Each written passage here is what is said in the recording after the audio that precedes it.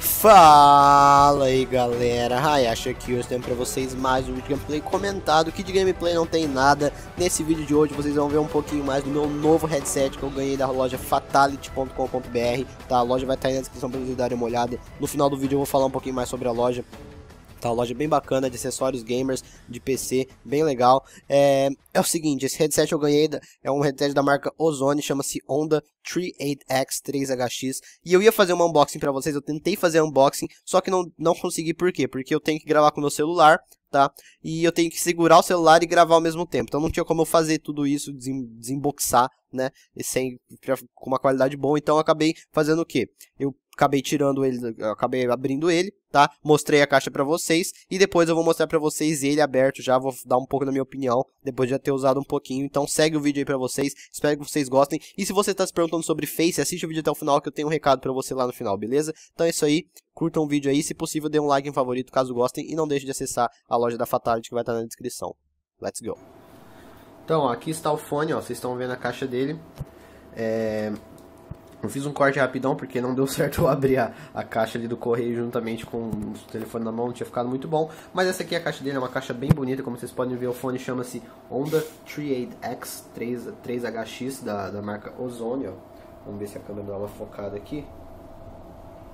Olha só, Universal Game Headset, aí focou. É, aqui em cima, ó, compatível com Xbox 360, Playstation 3 e PC. Então tá aí compatível com as três plataformas. Capa bem bonita, que tem o controle de mão dele, ó. Vamos dar uma olhada aqui no lado, atrás, do lado, nada diferente. E aqui atrás, ó, mais uma vez, Universal Gaming Headset, ultra confortável, aliás, uma das coisas que mais me, me falaram bem, na verdade, as reviews que eu li, o que mais falava bem sobre ele era a confortabilidade, dizem que ele é bastante confortável.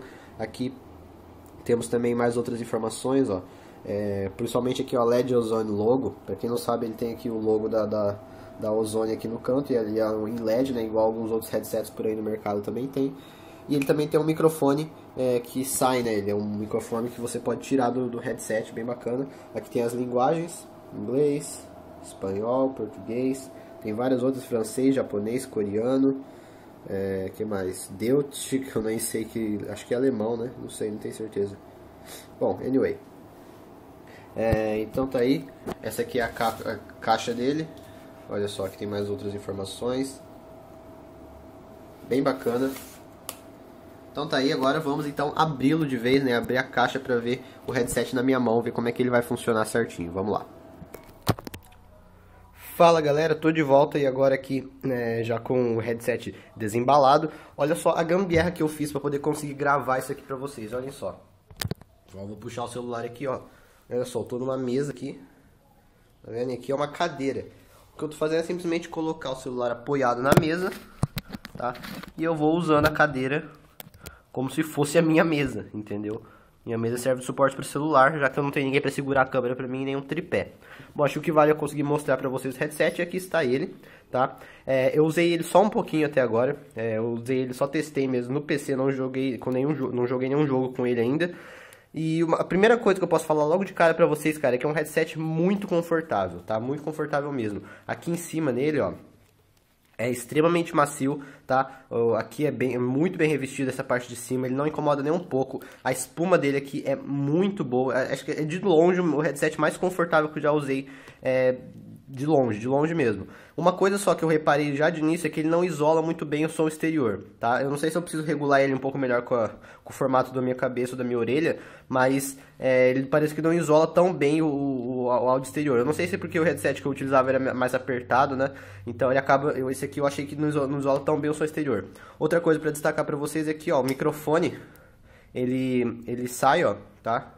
Ele sai do, do, headset, bem bacana isso aqui também. A qualidade do microfone eu só testei um pouco também e parece ser muito boa também. É, provavelmente vocês não vão notar diferença nenhuma desse microfone que eu estou usando aqui para o microfone, microfone que eu usava no outro headset, tá?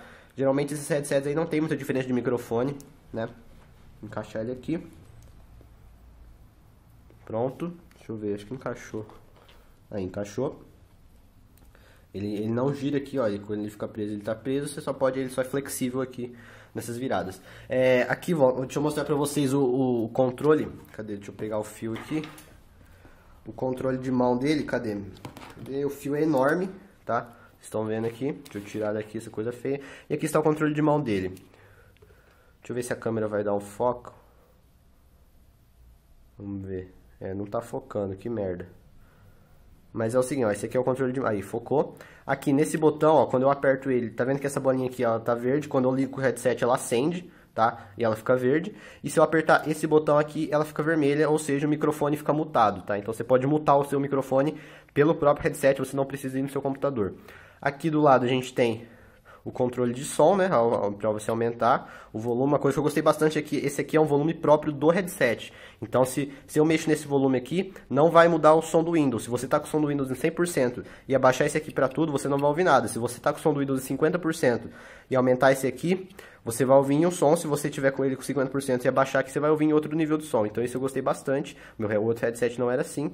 É, aqui, ó, tá vendo que essa travinha aqui Aí, ó, vocês podem ver que tá escrito aqui, ó, não sei se vai esperar a câmera focar de novo, aí, ó, PC e game, tá vendo? Aqui embaixo, ó, PC e game, é aqui você pode, aqui tá PC, aqui você pode mudar pra game, eu só usei no PC até agora, eu, eu mudei pra game tentando mexer no PC e não sai som nenhum, então vamos ver qual diferença isso aqui vai fazer quando eu for jogar algum game, eu pretendo fazer uma review completa dele pra vocês, esse aqui é só um vídeo de apresentação, e outra coisa que eu queria mostrar é o cabo dele, ó, o cabo dele esse aqui dificilmente vai focar, mas eh, o cabo dele é bastante resistente.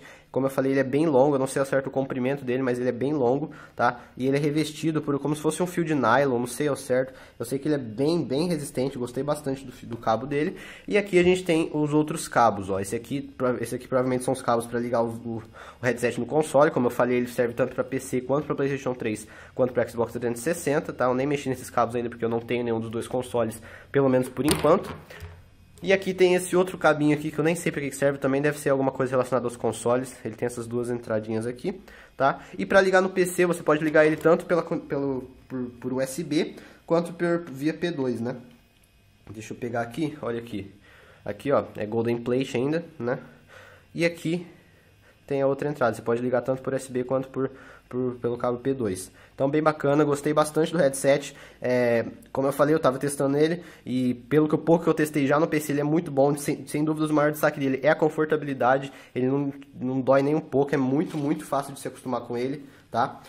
E agora eu preciso testar ele dentro de um jogo, né? Vou testar ele dentro do COD pra ver como é que é. E aí em breve eu trago uma review pra vocês. Como eu falei, esse headset foi me cedido pelo site fatality.com.br. O site é muito bacana, o site eu descobri recentemente. E cara, eu fiquei impressionado com o número de coisas que eles têm lá. Principalmente se você é PC gamer, acesse lá que você vai gostar. Eles têm teclados, headsets, é, mouses, mousepads. Eles têm mousepads da própria loja bem legais, tá? Esse headset aqui, se eu não me engano, tá, tá na faixa de 200 reais.